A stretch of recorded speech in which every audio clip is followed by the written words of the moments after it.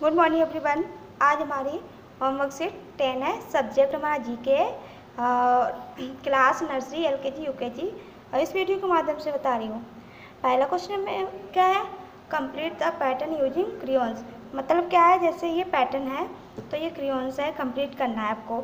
जैसे ये मैंने दिया है, जैसे ये रेड कलर है, इसका येलो कलर है, फिर रेड कलर है, फिर येलो कलर है, फिर रेड कलर है, फिर येलो कलर है। इसके बाद कौन सा कलर आएगा?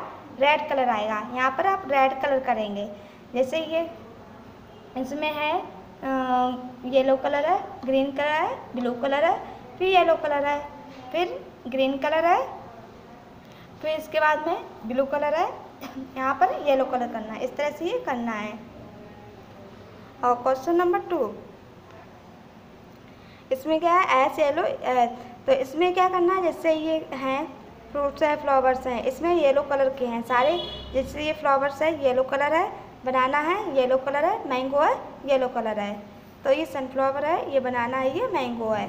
तो ये सारा पीला कलर का है। और इसमें एस, ग्रीन एस। तो इसमें क्या है? ग्रीन कलर है। ये हमारे ग्रीन कलर है। जैसे ये ग्रेप्स है, इसके बाद फ्रॉग है, इसके बाद पैरट। ये सारे पिक्चर ग्रीन कलर की हैं। इसके बाद में एस रेड एस इसमें क्या है? ये रेड कलर के हैं सारे, जैसे रोज है टमाटो है एप्पल है। ये सारे कलर रेड के हैं। और क्वेश्चन नंबर इसमें क्या है?